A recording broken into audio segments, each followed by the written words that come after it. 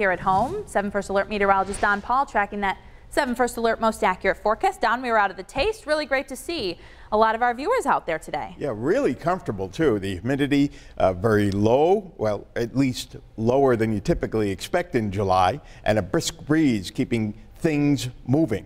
And around here tonight, that breeze continues on the hour as we showed you a few minutes ago. Let's look at the almanac, which I show you from time to time to let you know where we stand. We made it to 78 and the so-called normal, uh, meteorologists really say average high for today is 80.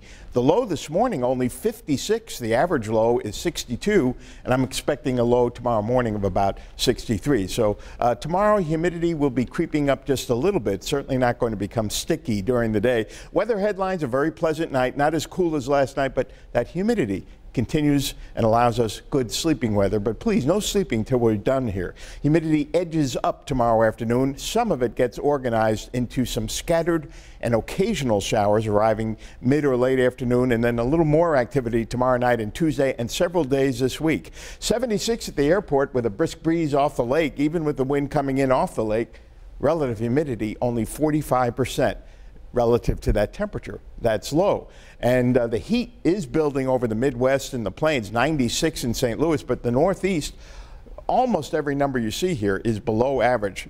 Minneapolis 84, that's close to their average this time of the year. We do have a frontal boundary separating cooler air from our seasonable air mass. The heat will stay out west, but we will feel that humidity coming up more noticeably tomorrow night into uh, much of the week coming up. Not oppressive, but on the sticky side. Upper 70s to near 80 near the Lake Ontario shoreline. The Lake Erie breeze keeping our temperatures in the mid 70s in the metro area.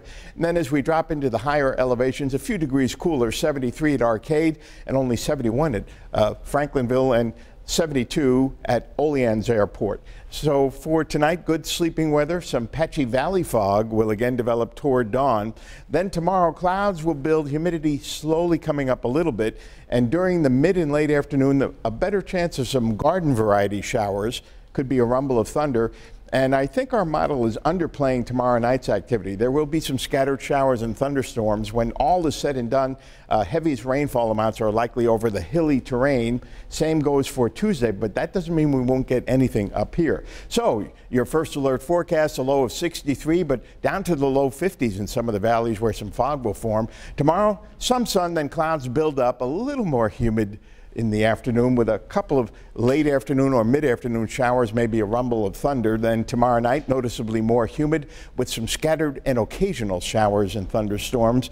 And then on Tuesday, some scattered and occasional showers and storms. Temperature not especially warm, but it will be muggy nonetheless. Still muggy on Wednesday with uh, dry conditions most of the day, but late in the day, some new showers and thunderstorms arrive, continuing into portions of Thursday, maybe a few showers and storms on a partly sunny Friday. Saturday, we dry out and we get more comfortable next weekend, but Sunday, we may see a few showers and storms return. A lot of uh, touch and go kind of storms this week. All right. Well, it was a beautiful weekend, so we had yeah. that. Yes, we did. All right, Don, thank you.